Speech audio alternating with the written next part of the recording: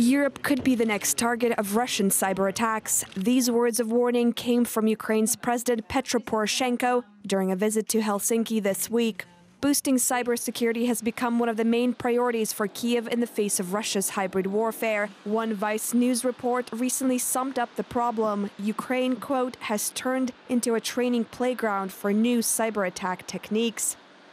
We have a very powerful cybersecurity unit in Ukraine creating uh, several months ago just as a counteract to this cyber attack.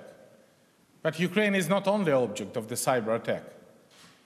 All the European nations, United States, and other countries are the object of this cyber attack, and this is the key element of the hybrid war.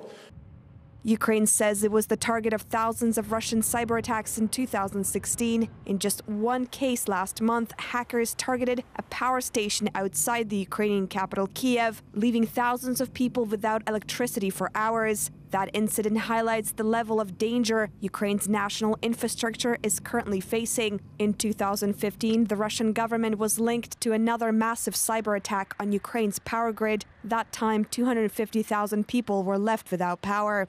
Finland is also no stranger to Russian cyber attacks. One Russian espionage group was found to be responsible for a 2013 hacking attack on the Finnish Foreign Affairs Ministry's classified data network. That's according to a recent report by the Finnish broadcasting company. This has prompted new debates on Finland's bid to join NATO. Finnish President Sauli Niinisto recently condemned Russia's military intervention in eastern Ukraine and said Finland, quote, has room for improvement against hybrid threats.